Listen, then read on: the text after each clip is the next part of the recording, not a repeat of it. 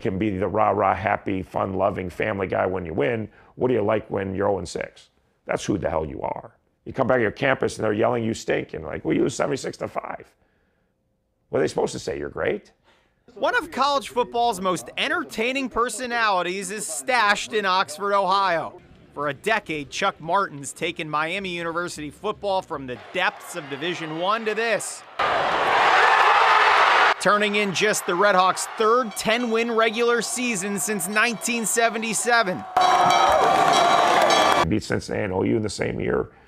Um, that's pretty important at Miami, you know, to do to do one or both of those, and then have a chance to hopefully fight for a MAC championship. Those are all like just pretty amazing what the kids have accomplished. Saturday, Miami plays for the MAC championship in Detroit against 23rd ranked Toledo. The once dormant program now bowl eligible for a fifth time in six seasons.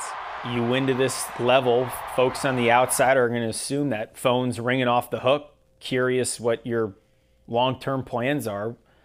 How do you handle those questions? There's a job we'd all leave for. If the Bears want me to be their head coach, I'm there tomorrow. You know, Bears get rid of head coaches every couple years. They never call me, so apparently they don't want me to be their head coach. Like, but like I was saying, we leave the interview right now if they call and say, see you later and finish it on your own. Like, so we all have that job, but my track record is that I've moved twice in the last 24 years. Right. Behind the scenes, Martin's mission at Miami impossible without one person. His explanation of the glue to this story, as you may expect, pure gold. I've been so fortunate that for whatever dumb reason, my wife's believed in me from day one. She's allowed me to have the success and allowed me to pour my heart and soul in the coaches, the players, the school. She's my only friend. Like I always say, like she tells me, "You got no friends." I'm like, she's like, and the sad part is not that you don't have friends, is that you're okay with it.